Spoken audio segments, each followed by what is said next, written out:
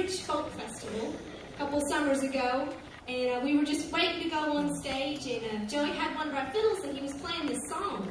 And uh, we all three really liked it, and we said, well, what's the name of it? You know, and he said it's called... it's called Flowers of Edinburgh. And um, so when we got back over here, back home to the States, we worked it up, and um, we'd like to try it for you right now, and it's called The Flowers of Edinburgh.